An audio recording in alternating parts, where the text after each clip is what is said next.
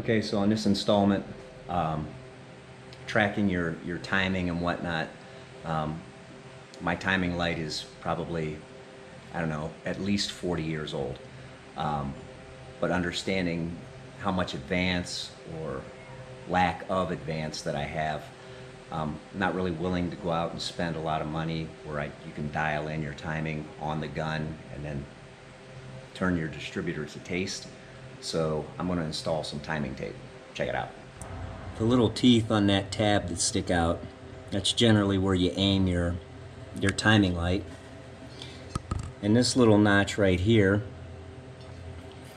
is supposed to be top dead center.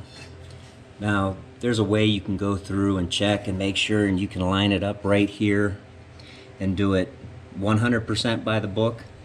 But I just need a set of numbers down there that are the correct for a six and three quarter inch harmonic balance. That way I know how much I'm adding or taking away. I don't really need it to be 100% accurate as far as the actual number. I just need it to be accurate to know how much I'm adding or taking away. So the first thing we're going to do is we're going to clean up the surface so that tape can actually stick.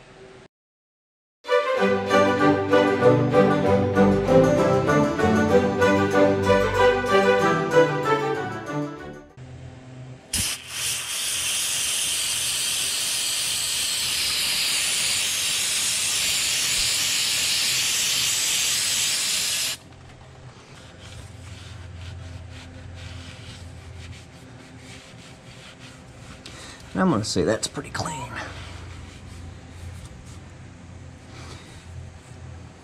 Like I said, that's the that's the little tick where the zero is going to go right there.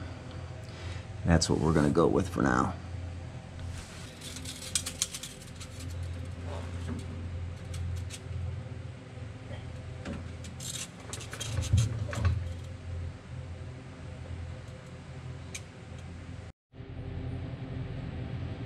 Okay, so this is pretty straightforward.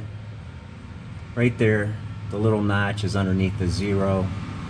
And basically the way it works is, let's say you're supposed to be set at, you know, 10 degrees before top dead center.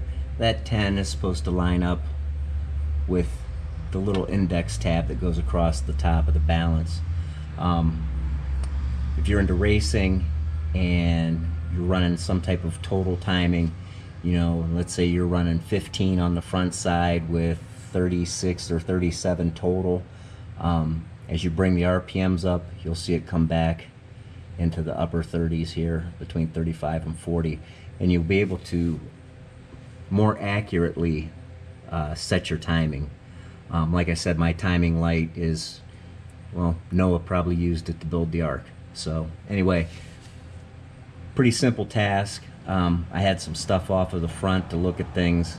Um, make sure you measure your balance. When I bought this, it gave me five or six uh, different tapes, and they're for different diameter uh, harmonic balances. This one happens to be the six inch six inch variety. So I almost put the six and three quarter on, and boy, would that have been a mistake. Anywho, that's it for this one.